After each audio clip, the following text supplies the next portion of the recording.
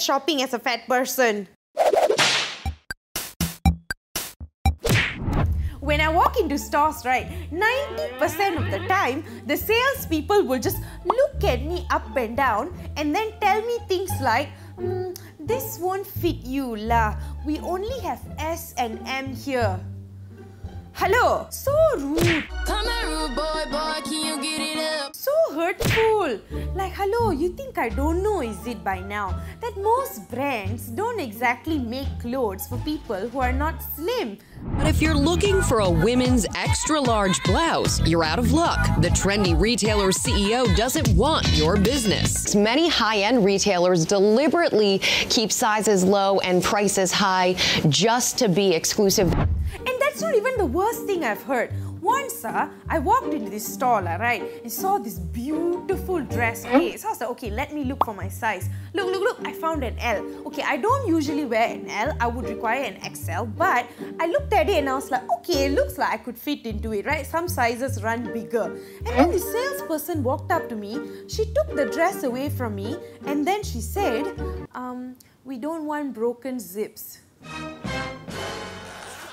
If they don't say anything, there's always the stares, huh? pointing. It's like, right, when I walk into the store and then one salesperson would alert another and then they'll form a pua and then they'll be standing in the corner and then laughing and very obviously bitching about my fashion choices. God forbid I pick up a crop top or a mini skirt lah.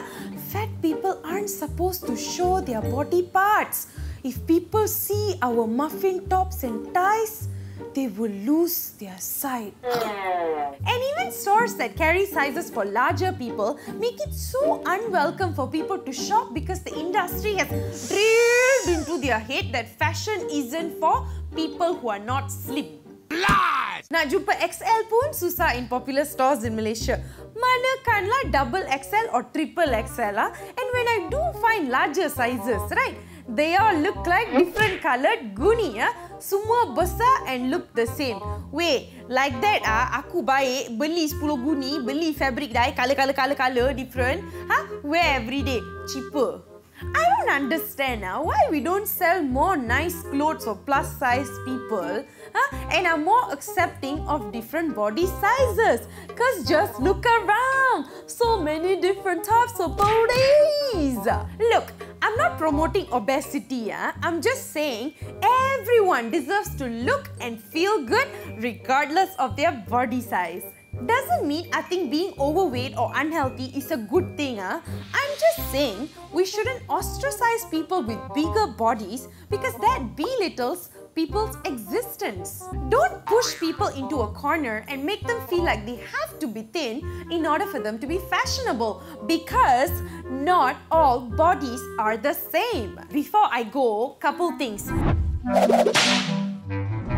Hello fashion brands, please make more nicer clothes for bigger people and sell them in Malaysia.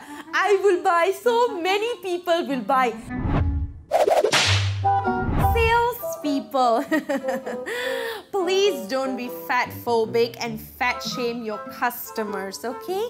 Be kind, be nice, be helpful, and not a disgrace to the service industry.